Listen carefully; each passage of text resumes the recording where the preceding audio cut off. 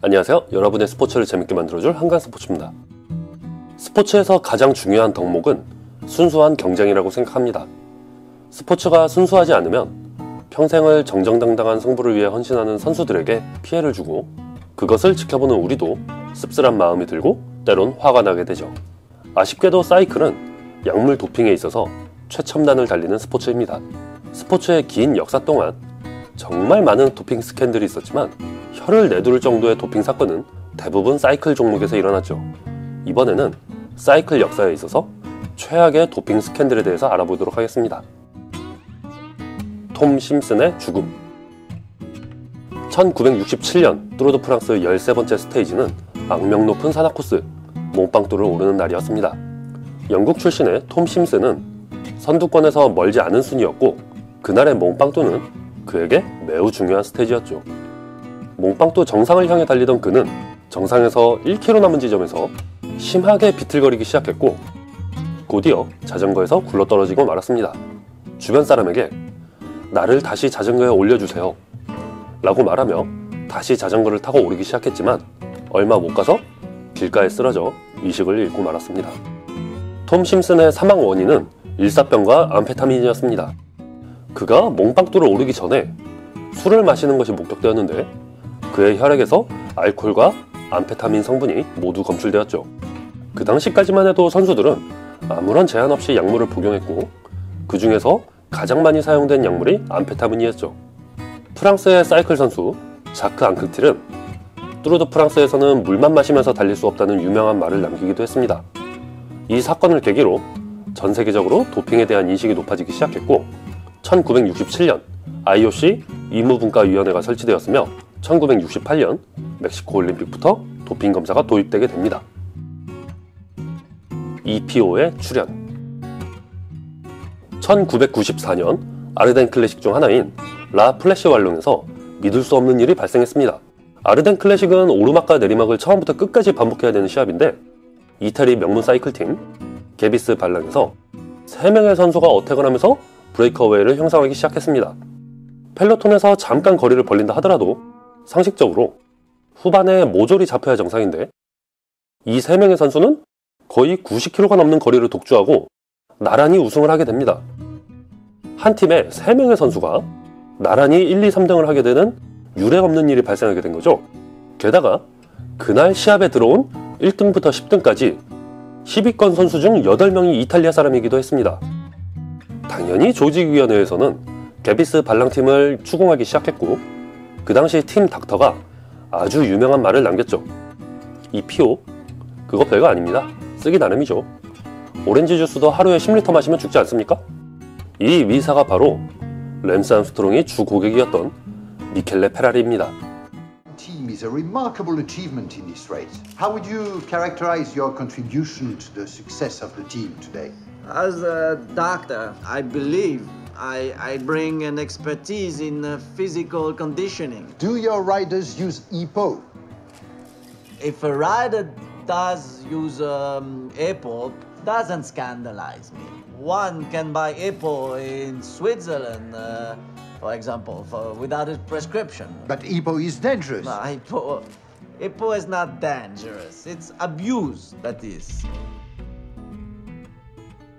1980년대 후반 무려 18명의 사이클 선수들이 사망하는 사건이 발생하면서 사이클계가 발칵 뒤집혀게 되었는데 그들 중 상당수가 EPO 복용과 관련된 이심을 받았고 실제로 의사들에게 EPO라는 약물이 선수들 사망 사건과 관련이 있다는 결론을 내리게 되었습니다. EPO는 적혈구를 생산하는 호르몬이며 최대 산소 섭취량 VO2 max를 향상시켜주기 때문에 지구력이 매우 중요한 사이클 선수에게 이보다 좋은 약물은 없었습니다.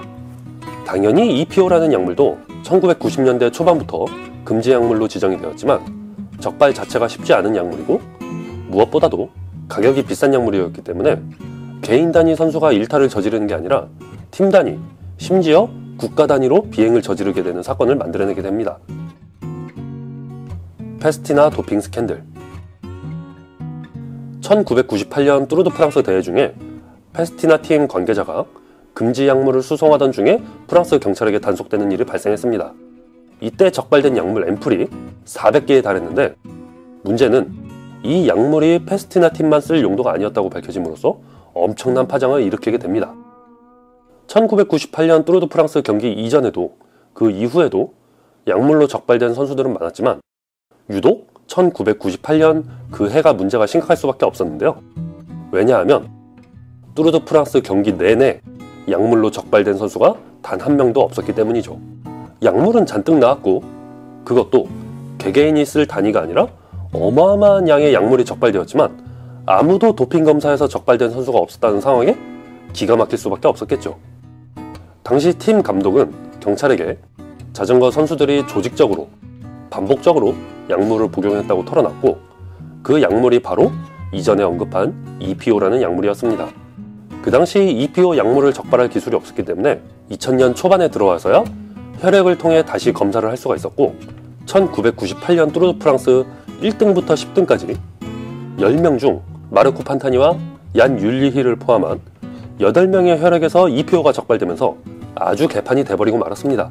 이 사건으로 인해 각 스포츠협회나 주최 측에 사건을 맡기면 소용이 없다는 생각을 각인시켜준 계기가 되었고 국제올림픽기구 IOC나 각 나라의 협회, 각 스포츠 협회에서 완전히 독립적인 세계 반도핑기구 WADA가 출범하게 되었습니다. Operation 푸에르토 사건 2000년대 초반 사이클계의 최강팀은 바로 이태리의 마페이였습니다. 세계 최강의 사이클팀답게 갖가지 약물과 도핑 방법으로 최첨단을 달리는 팀이었고 거의 모든 선수가 조직적으로 EPO를 복용했다는 의심을 받고 있습니다. 스폰서였던 마페이가 자신의 브랜드 이미지까지 타격을 입게 되자 결국 스폰을 철회하게 되었고 그 당시 sub 스폰이었던 퀵스텝이 메인으로 올라오면서 지금의 퀵스텝 팀이 태어나게 된 것이죠. 이 팀에게는 당시 강력한 라이벌이 있었는데 바로 켈메 코스타 블랑카였습니다. 켈메 팀에 있던 헤수스 만자노라는 사이클 선수는 2004년 3월 스페인 신문과 인터뷰에서 켈메 팀의 조직적인 혈액 도핑과 약물 복용을 폭로했습니다.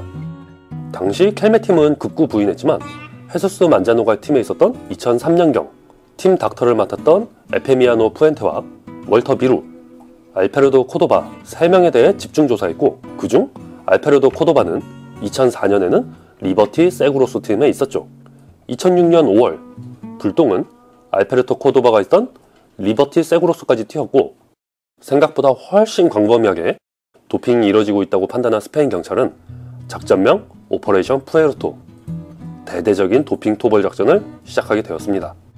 결국 스페인 경찰들의 치열한 조사 끝에 켈메팀, 리버티 세구로스 팀의 닥터들과 선수들이 무더기로 잡혀 들어가게 되었고 팀 닥터를 수사하던 중에 닥터 푸엔테의 집에서 수천 개의 anabolic 스테로이드와 100개가 넘는 혈액팩 등등을 발견하게 되었죠.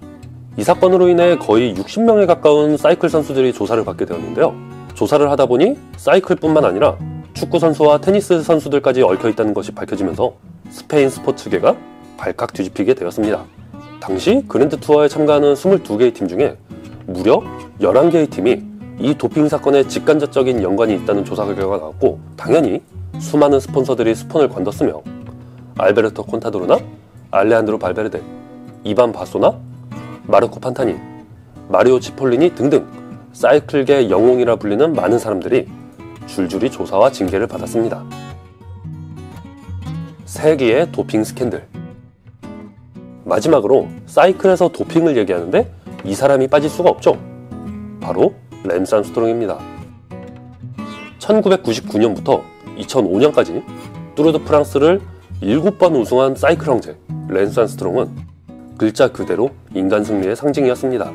하지만 랜스 암스트롱의 동료이자 2006년 뚜르드 프랑스의 우승자인 플로이드 랜디스가 약물 복용으로 적발당하면서 우승 성적을 박탈당하자 그동안 있었던 도핑 사실에 대해 모두 털어놓았고 랜스 암스트롱의 다른 동료들도 그의 도핑 사실을 증언하면서 랜스 암스트롱의 도핑 사건을 세기의 도핑 스캔들이라 부르게 되었습니다.